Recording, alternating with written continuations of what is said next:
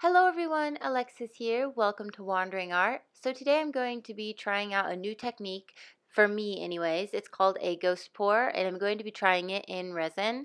If you don't know what a ghost pour is or is supposed to be, it's like a voice um, transmission or like a heartbeat, what it looks like on, on a monitor. Now I realized when I started doing my swipes that I was kind of squiggling my swipes and you shouldn't do that. Your swipes should be straight. So I don't think mine looks exactly how I imagined it, but I still love the effect. And one of the reasons that I am so in love with this piece is that I tried out something new um, in my resin. I only put it in this black base coat. So this is a black acrylic paint just from the Blick store. And then I added a little bit of treadmill oil, like three drops of treadmill oil into this black paint. Um, I feel like it made it a little bubbly. I had to torch it a lot more. There were like always bubbles in it, but eventually I did get all the bubbles out. So that was the only thing I noticed that was um, not good about it. I just decided to try it because I know you can use linseed oil, and I was like, why can't I use a different type of oil? So I used a ton of colors on this piece. I'm going to insert a picture every time I pour a color just because there's so many and I didn't have enough time between because you want your resin to be nice and hot to do the swipes. So I didn't have time in between my swipes to show you guys each little painting on the video. So I will insert pictures. This is a Windsor Crimson paint. And then the second pink here that I'm using is Jellyfish by Faux Rizzle. The third color that's more of like a peachy color, that is Pink Pearl by Black Diamond. And then you guys probably, if you've watched my videos, you guys all recognize the periwinkle from Faux Rizzle. I love this periwinkle color and it looks so beautiful in the swipes. So I have the periwinkle and then I did just a alcohol ink white. I don't know, I just thought like I have, I've got paints, I've got micas, um, let's add an ink in there. So I did the white as an ink. And I just saw in a lot of the acrylic swipes that they always put like a white line to help. I don't know if you need that. I kind of like it because it kind of gives it like a center point. I did all these lines squiggly and then I did the white alcohol ink straight. So I like that idea. Um, I might try it again without any white. And then what all I did was I used my torch and I just added a lot of heat and I used freezer paper cut into different sizes. That was something I noticed when I was watching and learning about this technique is you do your swipes straight. That's where I messed up. I squiggled.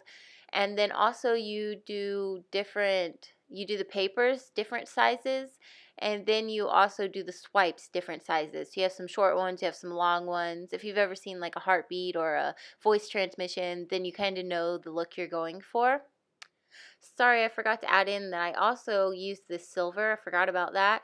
It is a Pinata alcohol ink silver as well. So I've got micas, I've got paints, and I've got inks. And I thought that that would look really cool, all the different depths coming together. And then, like I said, I used my freezer paper, cut into tons of different shapes for my swipes. And I just like to heat up the area before I swipe. That way I know that I'm not going to get like messed up swipes because you want your swipes to be nice and smooth. You don't want to have to go over them a couple times.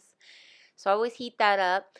And then I um, added some heat after I swiped as well to kind of generate the cells in this oil. And I have to say, you guys, it worked amazingly.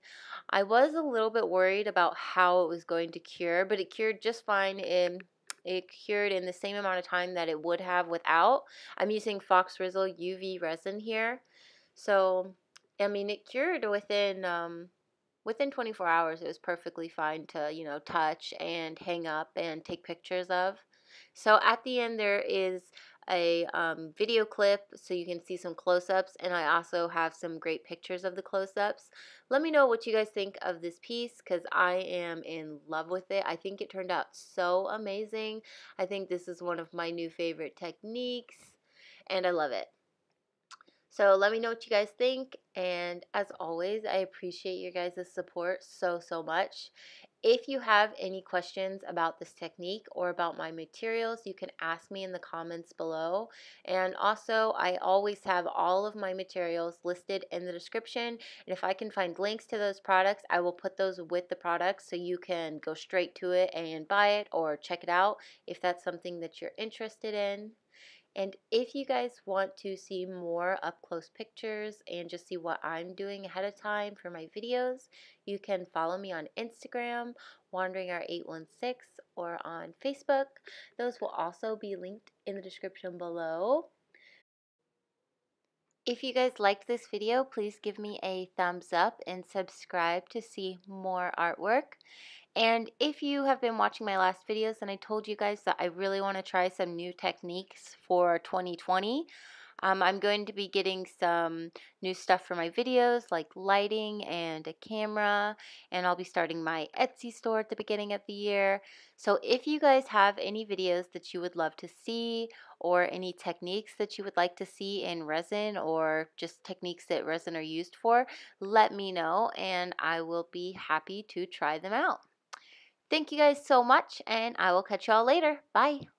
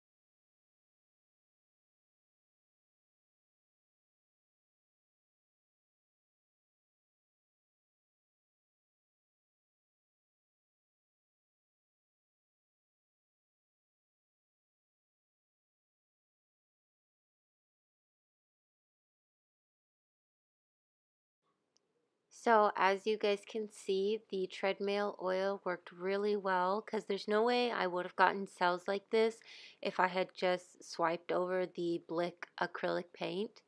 And you can see how beautifully all the colors just came together. My first try when I did this, I only used like, um, I faced my fear of red and blue and then I added a little gold and it just wasn't enough. So this was my second attempt and you guys can see the depth of all these colors melding together. They're so pretty. I can't even tell, some of the colors I can tell, like here is the jellyfish and the um, black diamond coming together. There's some periwinkle in there. At the top, it's really pretty because you can see the black diamond kind of really mixing with the white up here to create some really cool cells and then the periwinkle on the other side. I think these colors just all came together amazingly. I love the cells. I love the way that it looks. And I would also love to hear your guys' thoughts on what you think. And if you've ever used any type of oils in your paints to get like some really cool techniques, let me know. Also threw in one of my new paintings here. It's not finished, but I wanted to show you all. It's called The Tip of Two Galaxies. Thank you all for watching. Bye.